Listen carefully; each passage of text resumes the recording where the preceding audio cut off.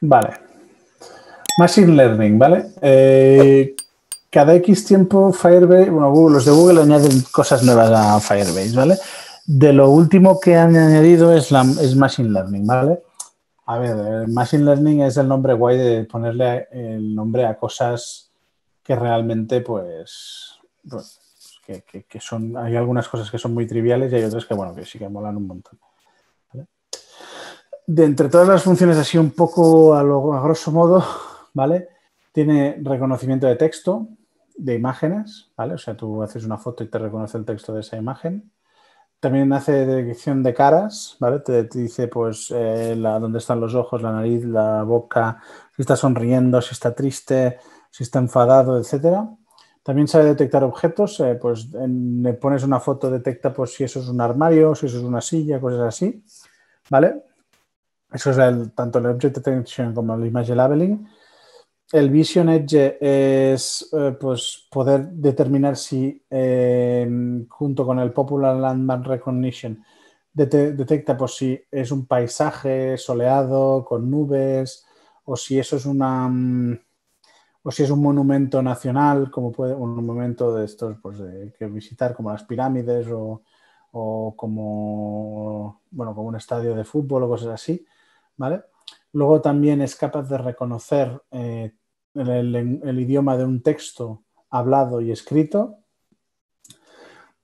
Es capaz también, esto me parece muy absurdo, que es leer códigos de barras, y eso, bueno, pues eso lo hacíamos ya hace años y también es capaz de, traducir textos, ¿vale?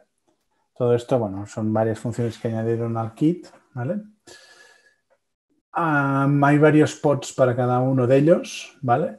El core del Machine Learning Kit es este, Machine Learning Vision, pero luego hay, bueno, el del Face Detection, ¿vale? Que es este, el del Label Mode, que es este, el del Object Detection, que es este, ¿vale? Y hay muchos más, ¿vale? un código, pues, ejemplo de cómo hace el del detector de cara, pues bueno, pues eh, fijaos, todo se basa igual que antes en el UI image, lo que hace es una foto, ¿vale? Entonces busca la cara. También se puede hacer con, obviamente, con la cámara, ¿vale? Y pasar cada frame de la cámara por un UI image. Entonces lo sabe hacer un móvil sin, problema, ¿vale? Entonces le pones las opciones, que es Performance Mode, Landmark Mode y Classification Mode, y entonces pues, te puede detectar una cara o no. ¿vale? Y este es el nivel. fijaos que es el nivel que puede detecta pues dónde está el landscape de la cara, luego el, entorno, el, bueno, el contorno y cada uno pues si está el labio superior, inferior, tal, si está sonriendo, la nariz, dónde está colocada, los ojos, tal, para ver justamente la expresión de la persona, ¿vale?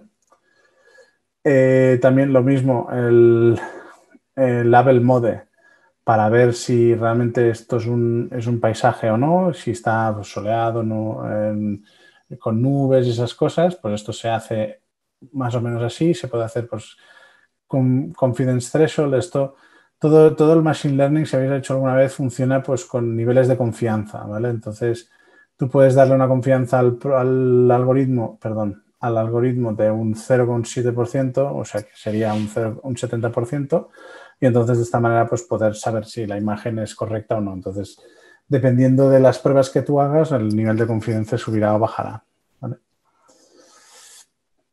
Lo mismo para el track objects, es muy similar, ¿vale? Que para poder traquear objetos pues como sillas, eh, jarrones o cosas así, que no le veo mucho la función, pero bueno, lo, tenemos ahí.